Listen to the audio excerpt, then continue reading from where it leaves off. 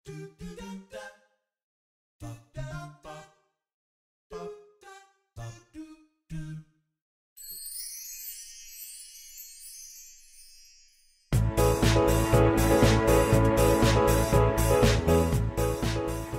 手でお迎えください。本日のゲスト中谷隼人選手の登場です。どうぞ。こんにちは。こんにちは。よろしくお願いいたします。します。中谷選手は蒲郡はまだ1回しか走ってないですよねそうですね。一回しか走ったことないです。ははじめまして、あの福岡支部の中谷隼人と言います。ヤングダービーを去年走らせてもらいました蒲郡で。えっ、とよろしくお願いします。今日は。よろしくお願いいたします蒲郡の水面はすっごい乗りやすいイメージで大好きでした。はい。もうじゃあ乗りやすいってことはもう握って回って。そうですね。はい。乗りやすい分みんな握って回るんですけど。あ、そっか。はい。ですけどそこでうん。その上を行けば。はい。勝てるなっていう。乗りやすいです。はい。ね、でもあのヤングダービー皆さんあの振り返っていただくと準優勝戦も6号艇ではい。2着に入って、はい、もうギリギリ予選通過したんですけど、ね。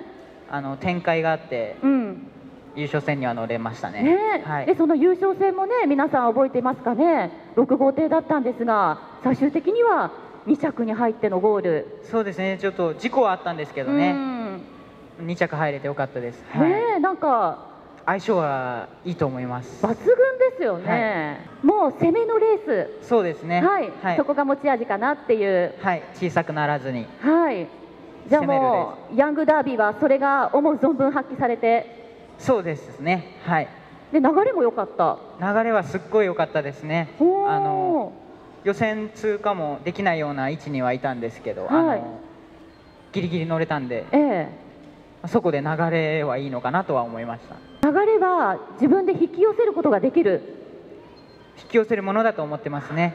そうなんですね。はい、勝手に来るもんじゃないと思ってます。はい。もうそれはね、あのボートレースの世界だけじゃなくて言えることかもしれませんが、そのために流れを自分に持ってこさせるためにしっかりと準備はする。そうですね。はい。今具体的にどういった準備しっかりしてますか？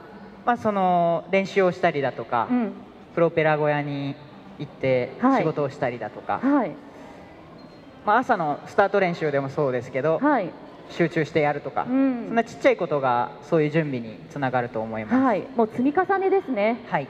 今年は何か目標を持って走ってるんですか？そうですね。あの地元の若松でオーシャンカップがあるので、それに、まあ今のところ出れそうなので、ええそれを取ることと、はい賞金王の18人にええ。行くなら今年だなとお。思ってるので、はい。そこに行きたいです。わお。本当に。ねえ、あのオーシャンカップはあとは選考期間も終わったので正式発表を待つばかりで、それ、まあ、はい、そ多うです出れますので、でそこでオーシャンを取る。はい、はい、そしたらもうグランプリもぐっと近づいてきますよね。はい、あ昨年はあの羽野直也選手とね新人賞争いで大いにこうもう何度もね言われてると思うんですけれども、はい。盛り上げてくれました。いやいや、盛り上げ、ありがとうございます。意識してま意識した。はかなりししました。そうなんですね。はい、ライバル？ライバルとかじゃないんですよね。うん。なんか、その一緒に切磋琢磨してはい。頑張りたいです。タイプはだってちょっと違いますもんね。そうですね、うん違うと思います。僕も、ははいい、じゃあもう羽野選手のいいところは盗めたらいいなとは思ってますけどね。はい。でまあちょっと成績とかも負けたくないなっていう思いは、まあ、そうですね。うんはい。ありますか？ありますね。はい。